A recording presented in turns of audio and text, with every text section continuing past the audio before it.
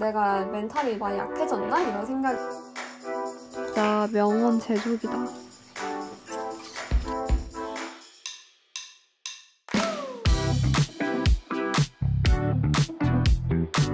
여러분 여기 있어 꼭 와보세요. 여러분 제가 새 운동복을 샀어요. 일요일은 헬스장이 8시에 열어가지고 보여드리면 제가 반바지를 진짜 선호하거든요. 운동할 때. 그러니까 레깅스 특유의 답답함이 없달까? 그럼에도 불구하고 제가 입던 잭실믹스는 엄청 쫀쫀했는데 이거는 엄청 널널해요. 그리고 가격대도 해외에서 배송했는데 괜찮았습니다. 근데 저보다 키가 크신 분들은 좀 부담스러울 수도 있을 것 같아요. 운동 가는 중.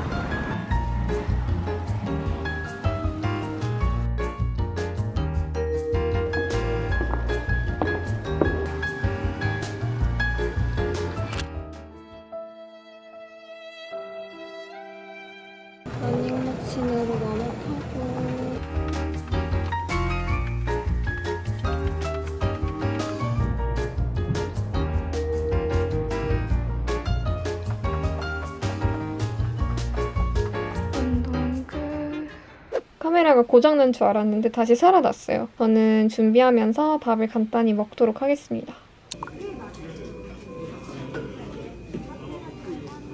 콤마를 왔는데 자리가 하나도 없어. 저는 아무래도 다른 카페로 이동을 해야 할 것 같아요. 맞아. 그 스벅이 있는 거 맞겠지? 나갔다가 자리를 다시 찾아서 왔어요.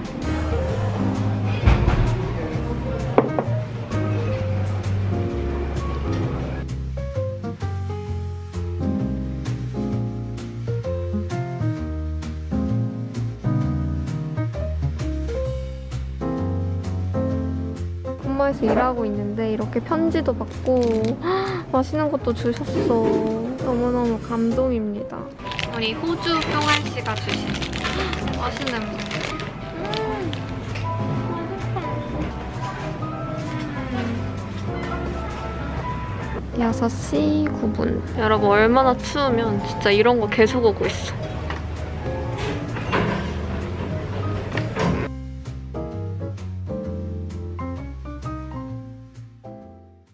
친구가 생일 선물을 이걸로 줘서 아 너무 가보고 싶었는데 드디어 갑니다. 여기가 원래 광화문이랑 강남 쪽에만 있었는데 여의도에도 생겼어요. 이렇게. 고기는 리필 되는데 일단 4개 다 할 거고 봐봐요 육수가 이렇게 많은데 선택을 하나만 할 수 있고 그거에 따라서 나오는 식사가 달라요. 저는 가장 무난한 걸로.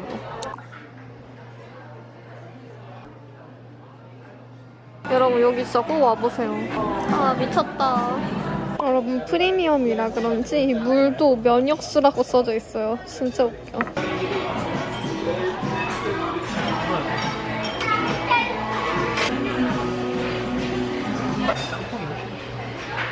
네 판째. 최애가 뭐예요? 최애. 저는 그린 커리. 그린 커리요, 최애. 네. 어, 야채랑 잘 안 어울릴 것 같은데. 너무 맛있어요. 그래요? 네. 한상. 감사합니다. 그럼 이제 다른 분들이 고객님 글을 보시고 다 그럼 다 해드려야죠. 뭐. 우와 이를 너무 사랑하는 게 보이셔가지고 너무 제가 기분이 다 좋아요 제가 이 브랜드에 대해 애정이 많아요.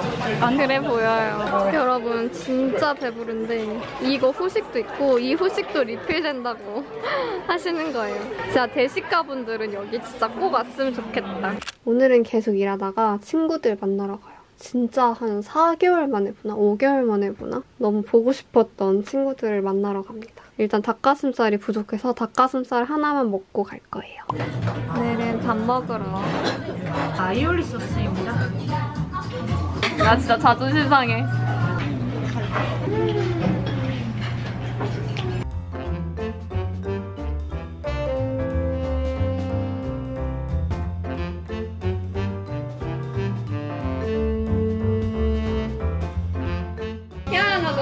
귀엽잖아. 야, 진짜 서연이가 스토리를 다 뭐가 올렸길래. 다 거절을 하, 하다가 이게 너무 괜찮아서 푼 거였거든. 나 지영이 믿었지. 응, 잘하니까 그거를 했을 거다. 저는 라떼를 시켰고요. 난 내일 임장 가서 또 맛있는 거 엄청 많이 먹어야 돼서 이거는 친구들 거. 예전에 한남동 임장 왔을 때 왔던 곳이에요. 저희 지금 여행 적금으로 flex하고 있어요. 와인 먹으러 왔어요. 이서진이 이미 샀는데 이게 미분양된 게 한 3배 정도 많았는데도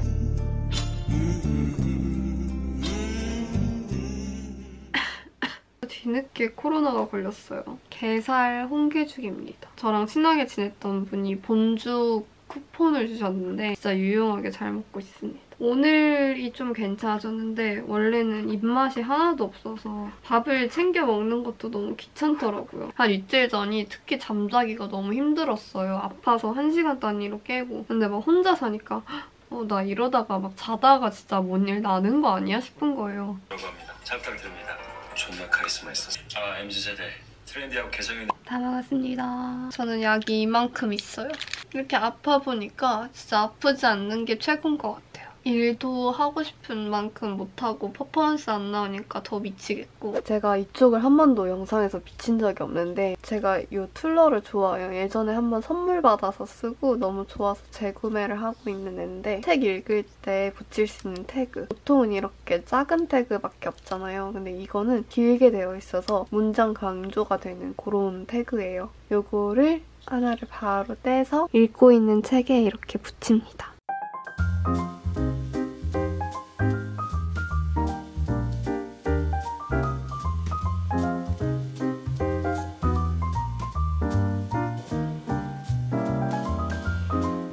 다 읽었습니다. 원래 오늘 다 읽을 생각이 없었는데 다 읽었고 이 책은 커뮤니티는 어떻게 브랜드 무기가 되는가라는 책인데 제가 워낙 이런 기업 브랜딩 쪽에 관심이 많아가지고 읽어봤는데요. 이거는 정말 뭐 personal branding 이런 게 아니라 완벽하게 그냥 기업 브랜딩 관련한 책이라서 정말 이쪽에 관심이 있는 마케터분이나 아니면 그런 쪽 종사자분들이 읽기는 좋은 것 같아요. 컬리나 오늘의 집, 뭐 무신사 파타고니아 이런 기업들이 어떤 식으로 커뮤니티를 운영하는지를 잘 나타낸 책이거든요. 사례, 디테일한 사례를 통해서 저도 좀 궁금하던 부분이라서 읽어봤는데 오 되게 정리가 잘 돼 있어서 좋았습니다. 하지만 이쪽에 관심이 없는 분들은 정말 재미없게 읽으실 수도 있는 책이다. 그래서 원래 이 책은 너무 호불호가 갈릴 수 있는 책이라서 사실 추천을 안 하고 하려고 했는데 읽는 거 보면 많은 분들 궁금해하실 것 같아서 한번 말씀을 드리는 거고요. 어쩌다 보니까 공공시가 됐는데 이만 자볼게요. 안녕. 오늘의 간단한 아침밥. 저는 진짜 잤어요. 지금이 2시인데 와 아까 아침 먹고 또 잠에 든 거예요. 이 약을 먹고 나서부터 잠이 너무 와서 너무너무 힘듭니다. 오늘 엄청 열심히 자려고 했는데 벌써 오전 시간을 다 날렸어요. 일단 이거를 먹고 힘을 내볼게요. 내용물이 엄청 듬뿍 들어있다. 이거를 그냥 끓이면 된대요. 오늘의 점심밥.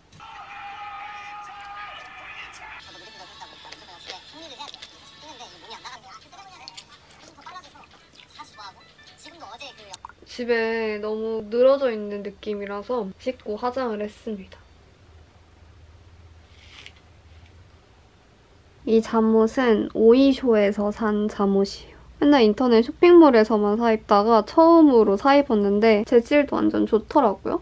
그 전까지는 거의 영상을 찍을 수 없는 상태라서 완전 죽어 있었거든요. 근데 힘이 생기니까 화장도 하고 싶고 막 뭔가 열심히 살고 싶고 그런 마인드가 또 돌아와서 너무 다행이에요. 처음에 코로나인지 모르고 있을 때 한 1, 2, 3, 4일 차쯤 왜 이렇게 몸이 무겁고 집중력이 떨어지고 정신이 산만할까? 왜 이렇게 나의 원래 텐션이 잘 안 나올까를 생각하면서 내가 멘탈이 많이 약해졌나? 이런 생각이 들었는데 돌아왔어요, 여러분. 이제 일정을 짜려고 해요. 코로나 덕에 뭔가 휴식 아닌 휴식을 취하게 됐는데요. 진짜 제가 예상했던 한 주가 완전히 무너진 게 제가 원래 내일 일정이 스튜디오를 대관을 해놨는데 그래서 일정을 다시 짜야 돼요.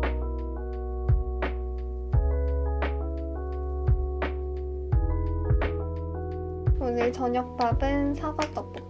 이거 인기 진짜 많은 게 한 번 시키면 한 한 달 뒤에 와요. 원래는 세 달 뒤에 왔다는데 저는 한 달 뒤에 왔어요. 저 혼자 먹을 수 있도록 홀로팩이 있더라고요.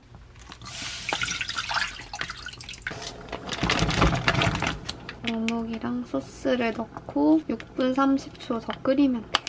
요즘은 막 시켜 먹는 것보다는 밀키트를 하거나 요리해 먹는 걸 더 좋아하는 것 같아요. 다 먹고 났을 때 좀 더 기분이 좋달까. 짜잔! 이게 그 유명한 사과 떡볶이입니다. 제가 먹어본 밀키트 떡볶이 중에 제일 말캉말캉해요. 소스는 MSG 들어간 소스보다는 약간 맑은 소스? 첨가물이 좀 덜 들어간 느낌? 엽떡은 한 번 먹으려면 진짜 비싼데 이거 홀풀백 제가 알기로 한 3, 4천 원대였거든요. 그래서 가격이 괜찮은 것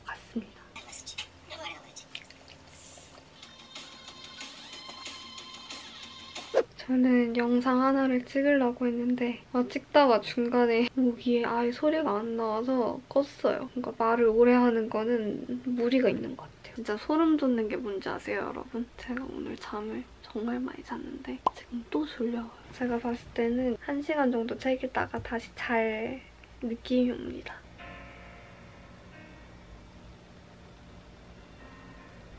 이 책 진짜 흔한 책인 줄 알았는데 어떻게 직원들을 대하고 조직을 어떻게 꾸려나가는지까지는 디테일하게 모르지만 적어도 이 일을 대하는 방식에 있어서 너무 리스펙합니다. 왜냐면 이런 식으로 일하는 걸 좋아하거든요. 그러니까 여기에서 그런 얘기가 나와요. 나는 매출이 올랐다는 이야기나 수익 지표가 올라갔다는 이야기보다 고객들이 다이소에서 와 이게 천 원이야? 이걸 들었을 때 기분이 훨씬 좋다는 거예요. 아 이걸 이렇게 비교하면 안 되는데 저도 제가 유튜브를 할 때 비슷하거든요. 저는 제 채널의 구독자나 아니면 제 채널에 그런 실제로 저한테 떨어지는 그런 수익 지표 같은 거 많이 안 좋아도 저는 오히려 구독자님들이 그러니까 제 영상을 보면서 되게 의미 있게 느껴주시는 거가 훨씬 훨씬 더 기분이 좋아서 이분의 마인드가 제가 평소에 하던 생각들과도 비슷하고 저는 진짜 너무 비슷한 게 많아서 놀랍고 멋있었어요. 자신들조차 미처 몰랐던 욕구를 먼저 찾아내 만족시켜줘야 살아남을 수 있다. 그러기 위해서는 유지할 수 있도록 구독하며 내일이 보장되는 삶은 없다. 진짜 명언 제조기다. 너무 멋있었어요, 여러분. 그래서 저는 창업에 관심이 있거나 아니면 창업을 언젠간 꼭 하고 싶은 분들은 한번 읽어봐도 좋을 책일 것 같습니다. 이제는 진짜 자야겠어요. 안녕하세요, 여러분. 오늘은 점심입니다. 어제부터 토마토 파스타가 너무 먹고 싶은 거예요. 그래서 컬리로 주문을 시켰어요. 요 통밀 파스타를 한번 사봤습니다. 단백질이 부족해서 닭가슴살도 작게 넣으려고요. 이거 그냥 원래 먹던 닭가슴살이라.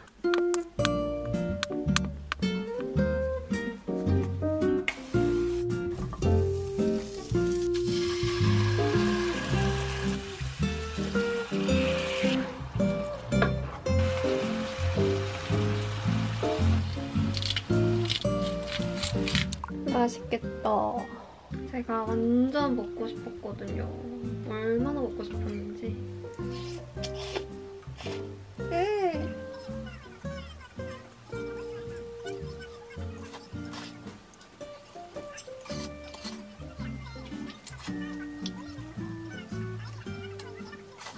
설거지 싹 하고 딸기도 가져왔어요. 저 진짜 코로나 되고 나서 딸기를 두 팩을 먹었어요. 여러분 저의 마지막 약입니다. 원래 오늘 병원을 한 번 더 가야 되는데 병원 안 갈 거예요. 약을 먹으면 너무 졸렵고 제가 일상생활이 너무 아예 안 돼가지고 아까도 오전에 약 먹고 또 잤어요. 집에서 음료수 배달 진짜 안 하는데 달콤한 게 너무 많이 땡겨서 공차를 시켰습니다. 진짜 최소 주문 금액 만 원이라서 두부과자랑 치즈케이크 이런 거 시켰어요. 기절할 것 같은데 오늘은 제가 할 일이 있어요. 보이시나요? 여기 있는 것들을 다 읽고 제가 검토를 해야 되는 일이 있어가지고 좀 열심히 해보겠습니다.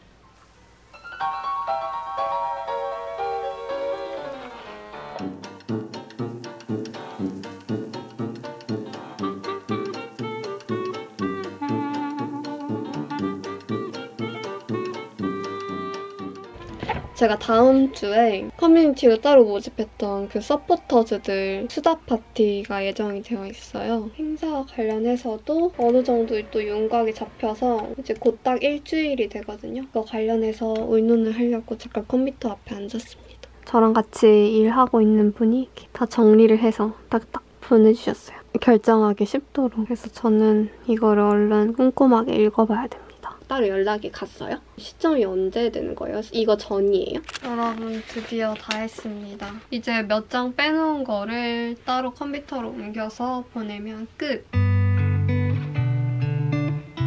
저는 주기적으로 생각나는 타르틴 베이커리 빵. 진짜 커요. She said I won't be back in a while. Don't wait. Already packed her bags, called the cab, made space. And she said I won't answer if you call me when you're lonely. I guess I let her go.